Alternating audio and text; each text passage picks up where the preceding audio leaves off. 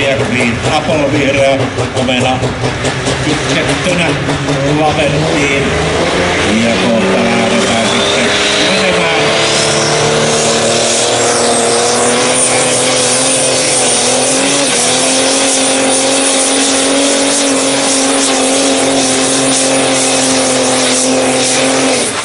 tuolla edessä 81 metrin tietämille